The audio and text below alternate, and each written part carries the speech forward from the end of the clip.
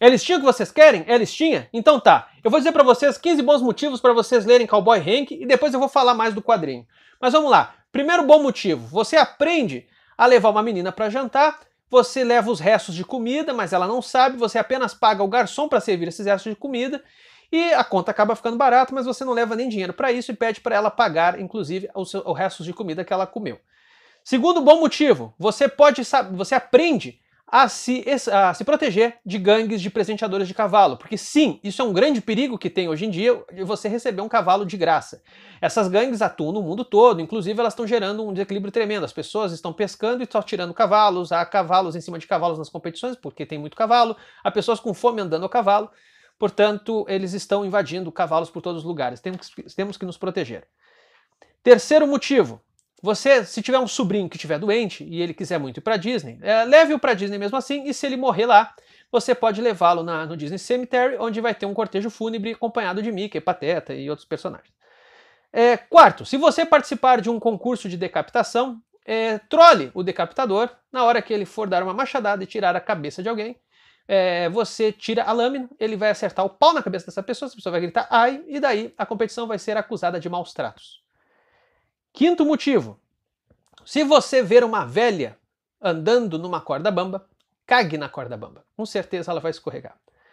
Sexto motivo: use camisinha no seu topete. Porque caso uma mulher chupe o seu topete, ela vai estar, uh, você vai, ela vai estar protegida e você não vai, ela não vai acabar ficando grávida. Porém, você vai descobrir que as camisinhas não são 100% seguras e ela fica grávida mesmo assim.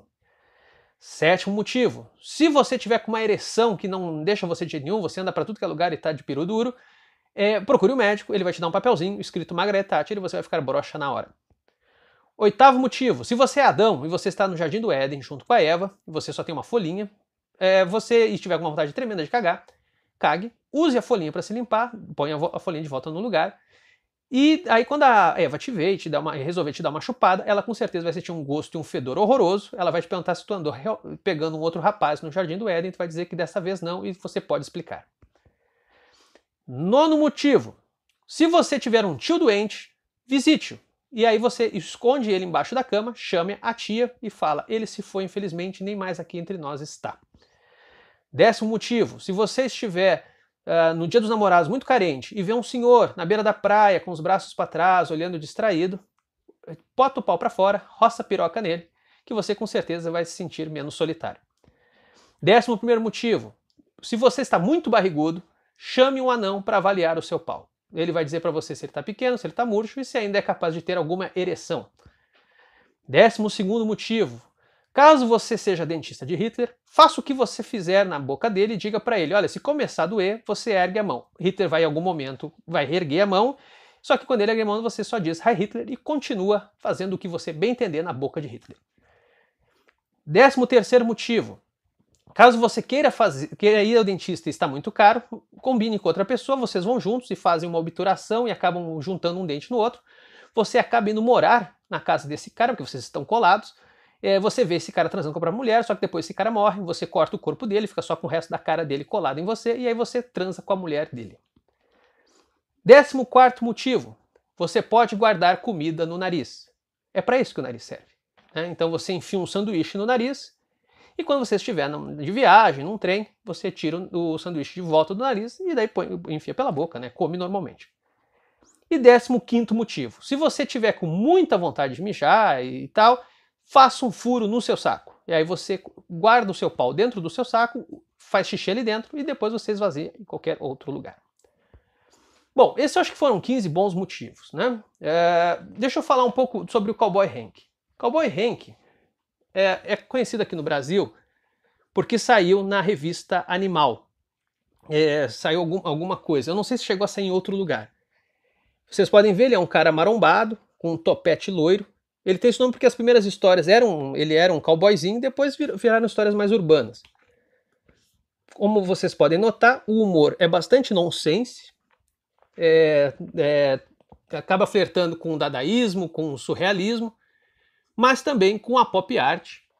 Uh, o próprio Kamagurka, que é o roteirista do Cowboy Hank, ele fala que a grande referência dele, na verdade, é dos quadrinhos mesmo, que é Bill Griffith, um nome importante dos quadrinhos underground, que criou um personagem que é Zip, The Pinhead, que inclusive eu ainda quero ver se eu comento uh, por aqui.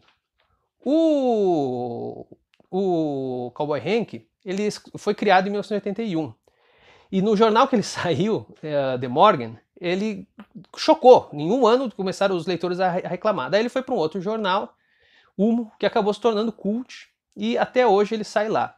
Ele é um grande fenômeno da Bélgica do Norte, da Bélgica flamenga, que é uh, uma potência dos quadrinhos da qual a gente muito pouco sabe. Né? A gente está acostumado muito a, a, ver produções da Bélgica, mas da Bélgica francófona. Né? Então por isso que a gente pensa muito na tradição de quadrinhos franco-belga. Mas a, a, Bélgica do Norte, ali a região de Flandres, é uma região que pro, produz muito quadrinho, muito. E do que, que a gente sabe? Né? Liste aí 10 quadrinhos, da, da, 10 quadrinhos flamengos que você. Uh, seus, seus preferidos ou que você já ouviu falar.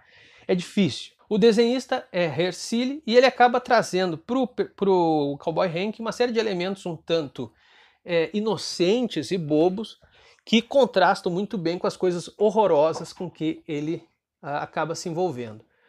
É, há uma, constantemente nas histórias maus tratos a animais e a crianças, o que pode ser extremamente chocante para muitos, inclusive para mim que gosto até de bichinho e de criança. Mas a jogada aqui é chocar, chocar por chocar, é, não importa com o que. É incrível como um personagem tão escatológico, tão nojento, tão cruel e babaca tenha conseguido se tornar um ícone tão importante de uma, de uma, uma indústria de quadrinhos tão poderosa como é o quadrinho, o quadrinho belga Flamengo. É, eu acho curioso perceber que talvez é, existam resquícios do Cowboy Hank numa versão já para criança no Johnny Bravo. Né? Eu, quando eu vi o Cowboy Hank pela primeira vez, é, logo depois vi o Johnny Bravo, eu disse: olha, é, não, é difícil você não reparar um pouco desse nonsense sobrevivendo ali, mas obviamente com muitos mais filtros. Então, fica aí a dica. Essa coletânea que eu tenho aqui é uma coletânea espanhola, trazendo histórias dessas décadas todas, obviamente não tudo mas uh, é algo que merecia voltar a sair por aqui, até porque a gente está precisando muito dessas dicas tão importantes e tão fundamentais para lidar com os absurdos que a gente já tem que encarar todo dia. É isso aí, gente. Se inscreva no canal, segue e também segue lá no Instagram, arroba Valeu!